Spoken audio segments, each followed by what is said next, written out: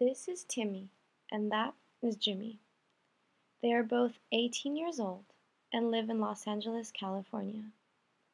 Although they live just a few miles from each other, their communities are very different. Timmy lives in a poor neighborhood, and Jimmy lives in a nicer, more wealthy one.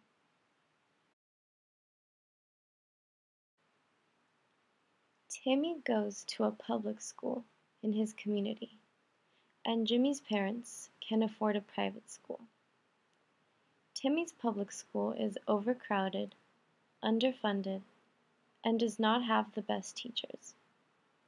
The value of the education he is getting at this public school is not as good as Jimmy's private school education. Jimmy's school has better opportunities a college focus, better teachers, and higher graduation rates. At Timmy's public school, college was not something that was prioritized, and the majority of his classmates did not plan to further their education after graduation. Timmy, as a result of this, decided to start working a minimum wage job in the fast food industry right after high school and not to go to college, limiting his opportunities in the future. Jimmy, on the other hand, was accepted into Stanford and will begin studying there in the fall.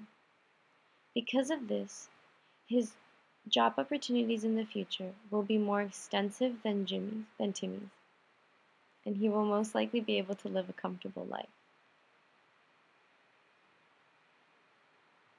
Timmy is stuck in a cycle due to the circumstances he grew up with. His likeliness of living in a poor community is very high, and if he has kids, his children will likely fall into the cycle too. Jimmy is also in a cycle, but in his cycle, he is able to better himself and his children, who will most likely fall into his cycle. Because Quintilian believes that everyone should receive an equal education, he would be upset by this situation. It is not Timmy's fault that he did not have the same opportunities as Jimmy throughout his life. In order to fix situations like this, it should be required for children to receive the same caliber of education as their peers.